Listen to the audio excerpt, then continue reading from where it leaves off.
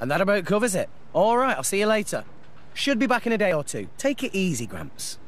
That does not about cover it in the slightest. Why would you take a job you know nothing about? You don't even know who your employer is. This came straight from the chairman, remember? What more do you need? Anyway, I'm off. You can take a nap while you wait. Hey, come back here, will you? Rex!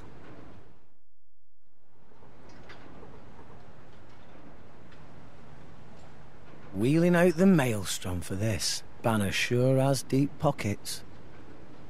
Gawking at a boat. What are you, 12? Wait, maybe you are 12. What's my age got to do with anything?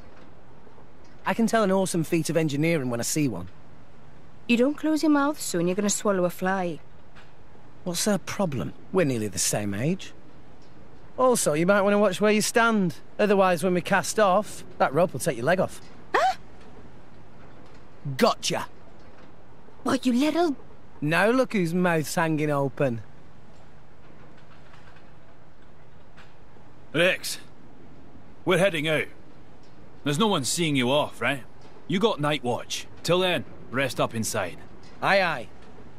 Later. Hm.